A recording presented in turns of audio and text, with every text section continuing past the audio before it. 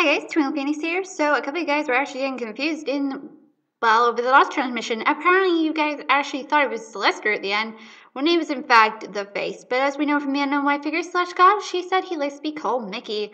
So that was actually him coming towards the camera and not Celestia. He has yet to make an appearance, and we don't know much about the little guy or whether or not he plays a part in the story.